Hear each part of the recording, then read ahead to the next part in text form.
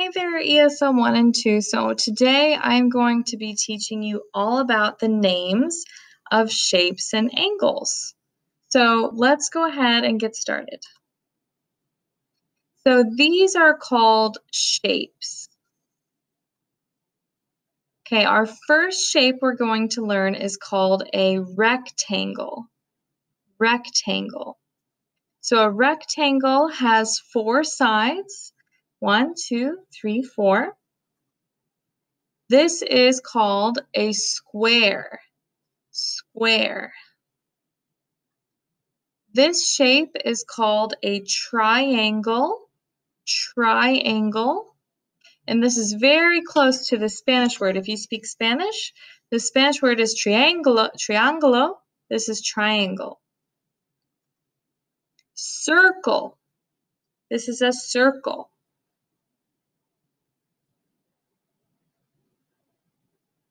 Okay, let's look at our next word here. Parallelogram. Parallelogram. So if you look, these two lines are parallel to each other. So they never ever cross. We look here, these lines keep going forever. This is a parallelogram. Parallelogram. This is a very long word. Hopefully you guys can remember how to spell it. I believe in you guys. Parallelogram. Okay, let's look at our next one.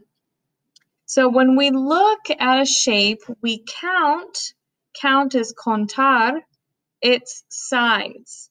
So this is a side. How many sides do you think this shape has?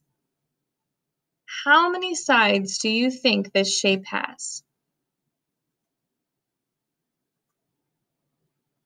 Oh, went too far. Back.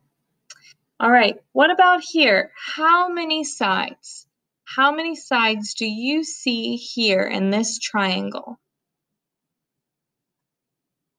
Okay, this is called a line. It is also called a segment. So a segment is when it stops on both sides. These lines are called parallel lines, parallel lines. So they never cross, parallel lines. These lines are called perpendicular, perpendicular. So try that with me, perpendicular. So they look like this and they cross, these cross. This line is straight or recta, it is straight. And then this line is curved or cursiva, it's curved. Curved line. Okay, now I want you to look at these shapes. What shape has no sides? Hmm, which shape has no sides? Write it in your Edpuzzle. Ooh, over, over here, yep.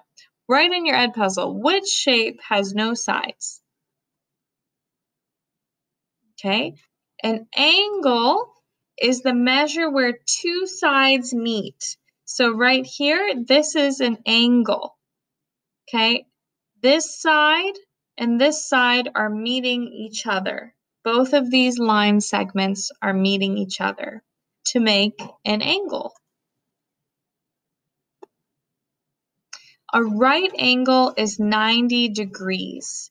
This little circle here is called degrees in English.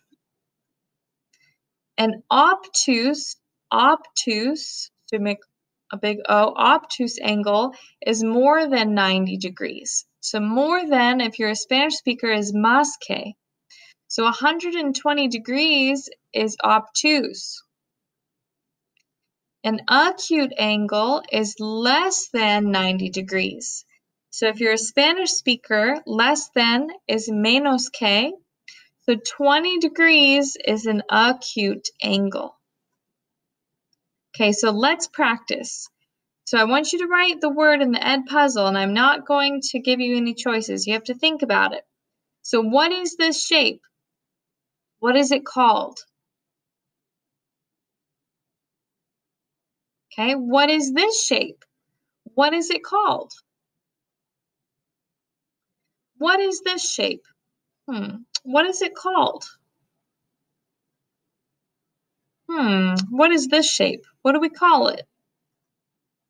Okay, what is this angle?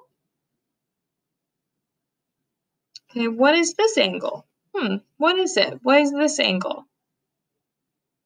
Okay, how many sides is this shape? What do you think? How many sides? How many sides is this shape? Okay, that is our last question for today. Good job. You've learned shapes and angles. Yay! Bye, guys.